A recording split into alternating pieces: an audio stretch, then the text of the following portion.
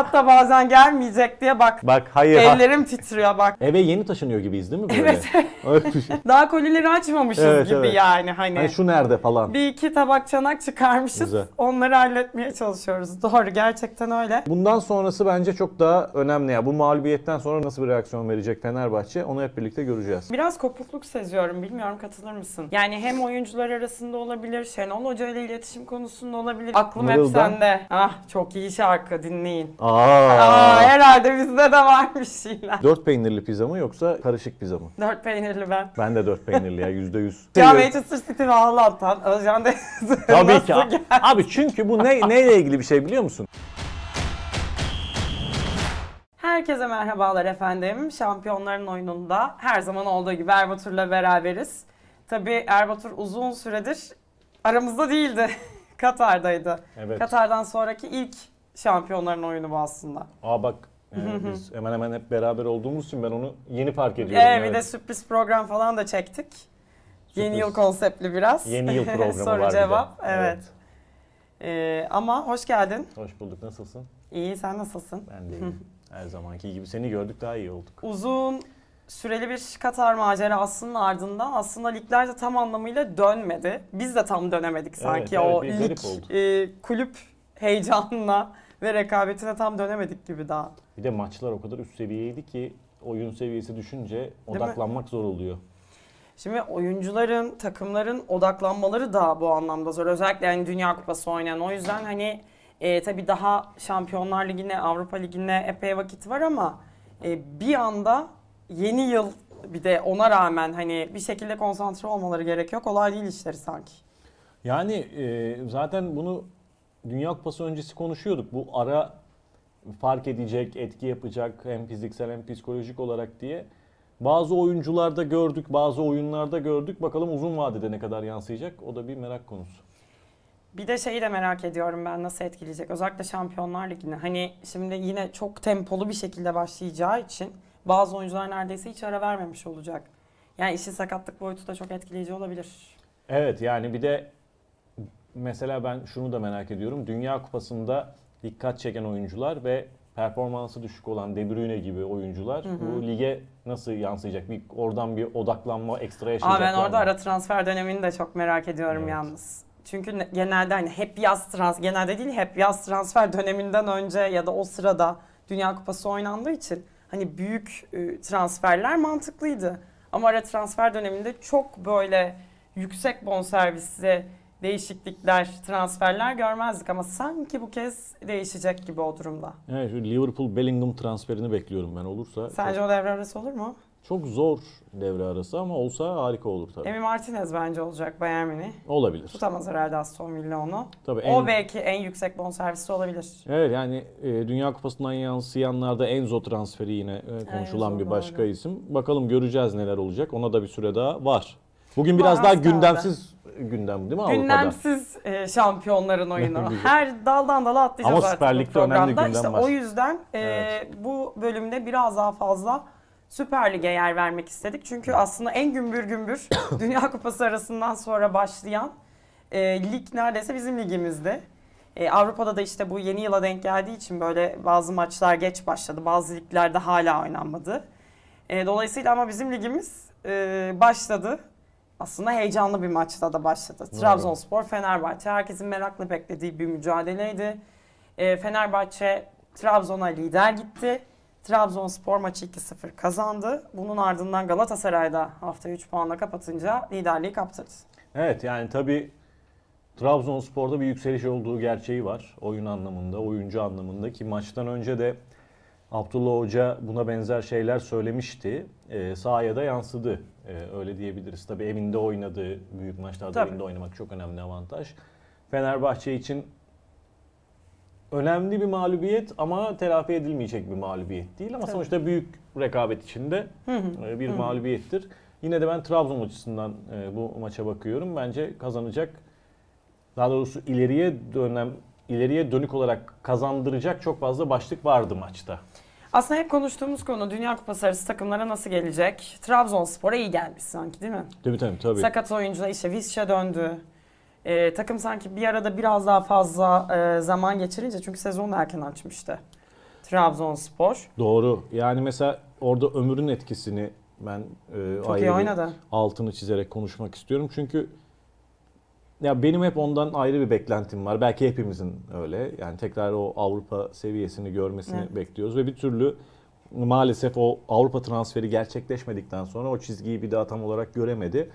Belki oraya Çok da dön- sakatlandı. çok işte hep bir da yani. talihsizlikler yaşadı. Belki oraya dönük bir e, mesaj vermiş olabilir oyunuyla. En azından e, öyle görüldü.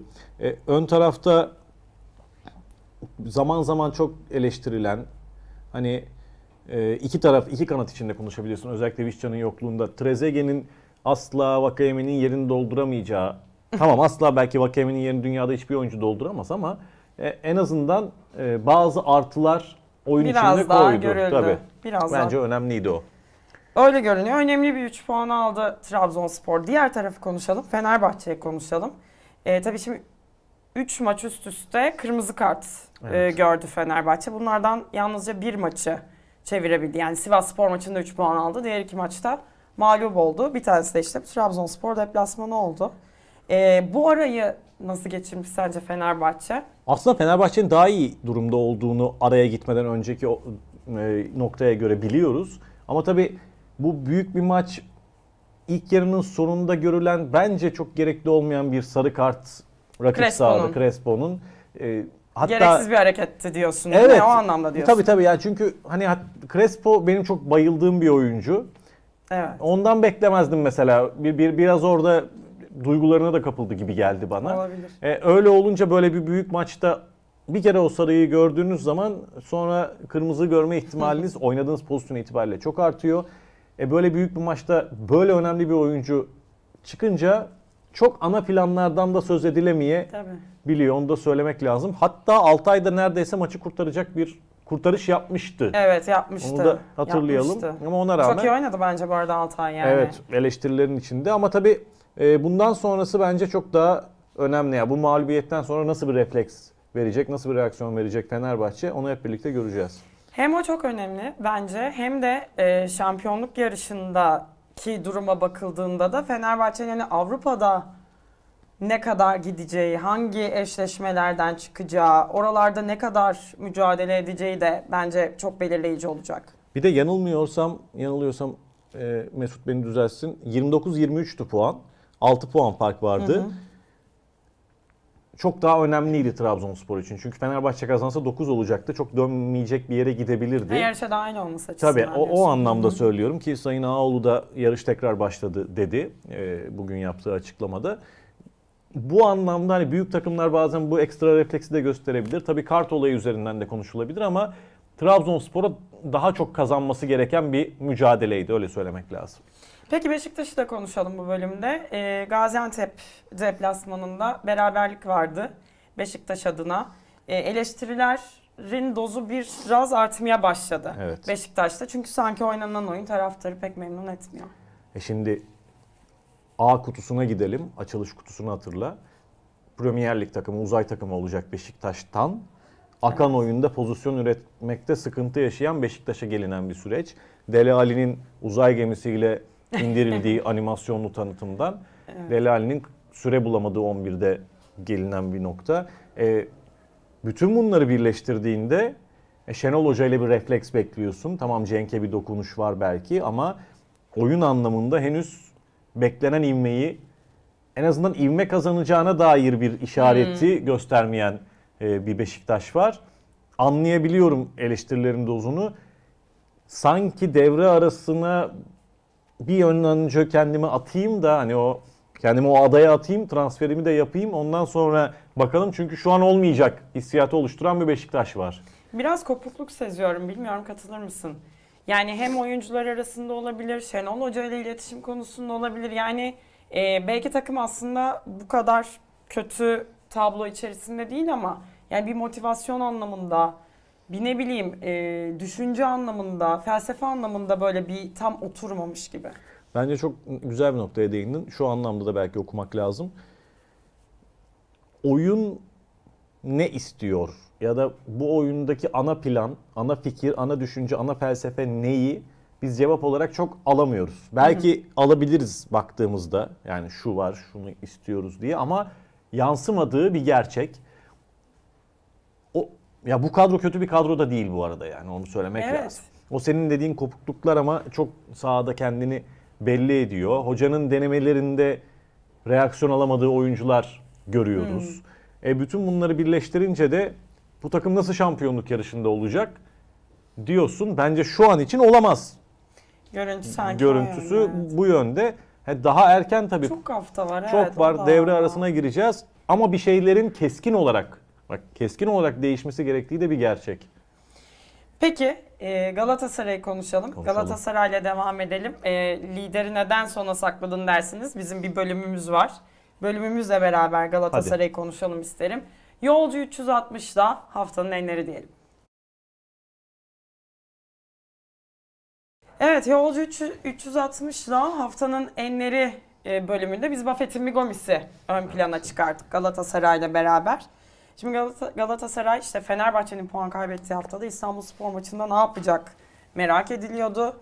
E, 2-1 kazandı, liderliğe oturdu ama e, yani oyun tartışılabilir. Özellikle 60'tan sonraki düşüşü Galatasaray'ın belki konuşabiliriz ama Buffett'in Migomis'e de aslan payını vermek lazım. 37 yaşında ama yani bu sezonun hikayesini Galatasaray adına bayağı yazıyor. Bir yaş sadece bir sayıdır bize gösteriyor. İki her yaşında ayrı bir güzelliği olduğunu bize hatırlatıyor. Herhalde öyle söylemek lazım. Hatta şeyi de hatırla, yani konuşmaları da hatırla Sinem. Ya tam Icardi geldi, işte Seferovic geldi bu saatten sonra zaten Mertens de orada Seferovic'i unutmuştum biliyor musun? Yani- Bak şimdi sen söyleyince kendini biraz unutturdu. Doğru. Biraz kendini Evet unutturdu o unutturdu yüzden. vallahi doğru. Ha bir de mesela ya bazen de insanın işi ters gitmesin yoğurt yerken dişi kırılırın atasözümüz vardır ya oraya o minvaldeki daha düzleştirip söyledim cümle. ya alengirini aldım içinden biliyor musun? Tamam güzel. Ya böyle hayatınızdan enerjiyi çekiyorlar. Alengirli cümleleri bile düzleştiriyorsunuz o zaman. Aslında düz cümleleri alengirli yapmayı severken. O yüzden dikkat edin. Neyse. Boş, de- boş ver. Make it simple, simple is good demişler bak. Hatta yani. Basitleştir, basitlik iyidir yani. Evet evet yani. Fena değildir o kadar. Basit güzeldir diye o İngilizlerin de atasözü var değil mi? İşte aynen. Simple is beautiful demişler hatta. Neyse. Evet basitleştirelim. Ve şöyle sadeleştirelim durumu Sinem Hanım. Şöyle bir durum var. Mesela okuduğumuzda konuyu. Ee, gerçekten işin şakası bir yana. Şimdi penaltı oluyor. Dönen topa kendisi vuruyor. Hani sonra da orada bir ufak itirazı var. Ya bilmiyor değil tabii ki biliyor ama o kadar biraz üst üste geliyor ki olaylar. Refleksiniz bozulabiliyor. Seferovic'te de hakikaten böyle bir durum Doğru. oldu. E bir yandan da ya bu saatten sonra bu yaştaki adam nasıl oynayacak dediğin adam takımın ana golcüsüne neredeyse Oynuyor. dönüşmüş durumda. Bir de attığı golleri ve Galatasaray'ın kazandığı maçlara baksana. Hep çok kritik maçlar. Bir de şey vardır ya e, tartışılır da bazen ama hani karakter koymak diye. Hakikaten liderlik ve karakter koyuyor ortaya. Öyle. Bu çok değerli bir Öyle. şey. Ben Gomis'in ikinci gelişinde yayındaydım, canlı yayında böyle an, işte anlatıyordum üzerine. Bazı insanların enerjisi vardır. O pozitif enerji direkt yansır. Bazı insanların negatif enerjisi vardır. Etrafa ya- yayarlar. Onları çok almayın hayatınıza. negatif enerjili insanları seviyorsanız ama tekrar pozitife döndürmeye çalışın. Bak Gomis gibi insanlar indi hava alanından bizim stüdyoya kadar bir pozitif enerji geldi. Ben hissettim onu yüzün yüzünü Aurası gülümse. var yani, Aura değişik. var. Böyle buraya girse mesela o Evet. dediğim işte negatif insanı bile pozitif hale getirir. Öyle bir öyle bir adam ve saha içinde hem savaşıyor hem bunu pozitif enerjiyle yapıyor arkadaşların. Hani Kerem'e falan nasıl gittiğini hatırla önceki maçlarda.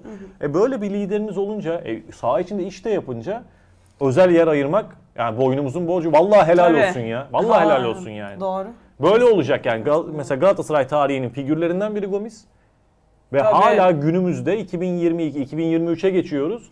Hala önemli figürlerinden biri. Büyük saygı duyuyorum. Yani bu sezon Gala- kim şampiyon olur bilmiyorum ama söz gelimi Galatasaray şampiyon olursa Gomis'in attığı goller inanılmaz etkili olacak. Çünkü öyle Tabii. maçlarda attı ki mesela bu maç hata yapsaydı Galatasaray e, yani çok zor bir yerde yapmış olacaktı aslında. Psikolojik üstünlük anlamında işte belki yarıştan kopma ya da e, en yakın rakibinizin hata yaptığında onu değerlendirememe anlamında. Sezonun başında kazandırdığı Doğru. maçları da hatırla. İpten almıştı yani Galatasaray'ı. Çok zor bir döneme girebilirdi. Okan Hoca'nın tart daha fazla tartışılabilirdi. Bunun gibi bir sürü şey söyleyebiliriz.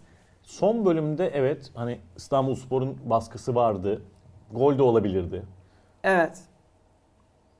Az önce Fenerbahçe Trabzonspor'u konuşurken, Beşiktaş'ı konuşurken de şunu söylemek lazım. Bence bu lig sonuna kadar yakın gidecek. Ben de öyle düşünüyorum. Yani bu belli ki son hafta, hatalar son saniye falan oralarda Evet. öyle, öyle bir şey. bir foto finish bekliyorum ben, Ben de ve heyecan çünkü Dünya Kupası'ndan sonra tam heyecan daha buraya dönmedi ya. Şey gibi düşünüyorum. Son anda telefonu böyle batarya biterken şarja takmış gibiyiz. Şu an durun yani anladın mı? Şu an tam Durun. böyle yüzde ikide şarja taktık telefonu. Evet. Şimdi yavaş yavaş dolacak. Peki Yolcu 360'da haftanın enlerinde konuştuk. Devam edelim. Biraz Avrupa'yı da konuşalım. Erbatur. konuşalım? Şu anlamda konuşalım. Premier Lig biraz Evet, izledik bugün bir- maçları. Bir kısmını izleyebildik. Tabii ki e, bir kısmını izleyemiyor olacağız. E, program maçlardan sonra yayınlanacak olsa Evet. da çekim saatleri itibariyle işte dedim ya Dünya Kupası dönüşü, yeni yıl olması hafta sonunun Eve yeni taşınıyor gibiyiz değil mi böyle? Öyle bir şey. daha kolileri açmamışız Evet, gibi evet. yani hani. Hani şu nerede falan. Bir iki tabak çanak çıkarmışız. Güzel. Onları halletmeye çalışıyoruz. Doğru gerçekten öyle. Ama e, Premier Lig'i konuşalım. Evet. En yakından e, görebildiğimiz hem oyuncu performanslarını hem Dünya Kupası biraz yansımalarını. Şimdi ben e, şey seçtim. Ne seçtin? Hadi hayırlısı. Dur önce biraz Premier Lig konuşalım sonra Söyle, onu söyle, ne verelim. seçtin? Merak hayır ettim. hayır hadi biraz merak edin. Evet. bir şey seçmiş. Şimdi mesela Arsenal e, çok iyi gidiyordu. Tamam sen Ya seçtiysen dur ben varım ya. Tamam. Tamam dur birazdan konuşacağız onu. Ee, Arsenal çok iyi gidiyordu. Hı. Şampiyonluk yarışında derken Evet. gitmiyor muydu? E gidiyor evet tamam.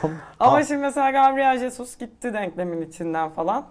Zor yani işleri. İşte Dünya Kupası bu Avrupa'daki yarışı bayağı etkileyecek bence. iki tane başlık var orada. Bir Enketia'yla devam edecek diyorlar ya da Martinelli'yi öne atacak gibi bir şey olabilir. e, Tercih deniyor. Martinelli olur. iyi sezon geçiriyor. Öyle ama o da yerinde iyi oynuyordu. Bir yandan Emil Smith Rowe dönüyor sakatlıktan. O önemli. Ama devre arası bir santrafor transferi yapacakları da söyleniyor. Bence bunlar etkileyici olacak. Böyle bu kadar yaklaşmışken daha doğrusu bu kadar en azından tünelin ucunda bir ışık görünürken ben transfersiz geçeceklerini çok sanmıyorum. Yapacaklardır. Hı hı.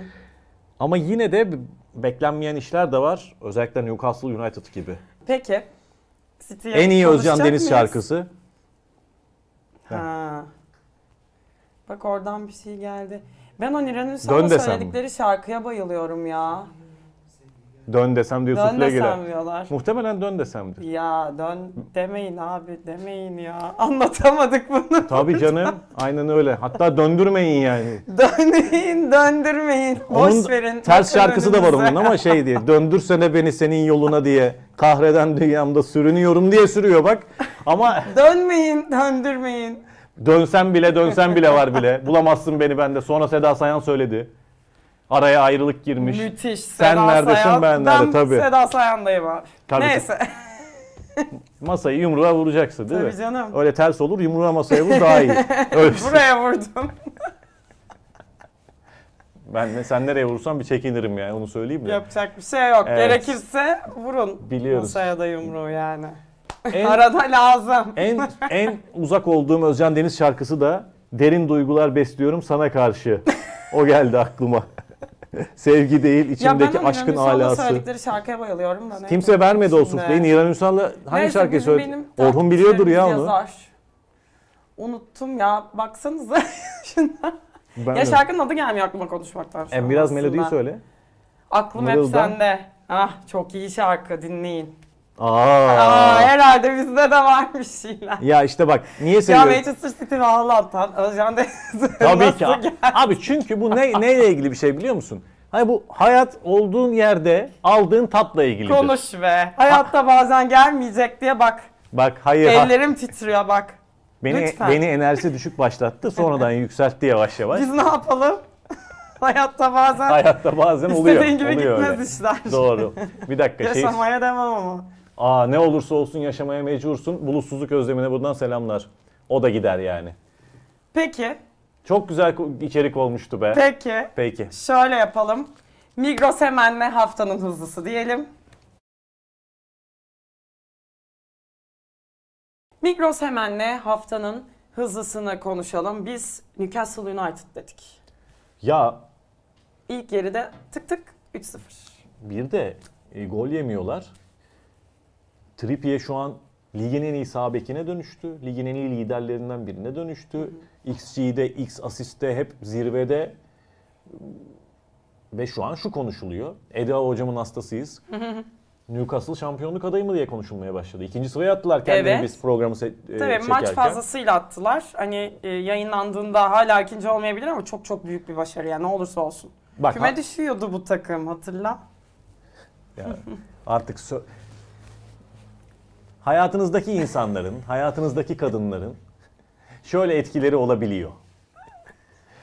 Bazen cümleyi kurmadan önce yani öyle bir hazırlıyorlar ki yani daha doğrusu oraya böyle matkapla yeri deliyorlar ki söyleyeceğinizi söyleyeceğinizi fark ettiği için çok önceden ya bunu söyleyeceğimi zaten söylemişti diye aklınıza oturuyor. Şimdi hayatta bazen diye bir cümle kuracaktım. Kuramadım bak o yüzden. Kur ne olur kur. Vallahi beni döverler. Yok. Senin fanların. Onu- beni onu- mahvederler. Onu kimse yapamaz da yaptırtmam. Bir. ikincisi eee, şu. Gerçekten hayatta bazen değil, hayatta her zaman hayalleriniz olmalı. Bunun için çalışmalısınız, planlar yapmalısınız.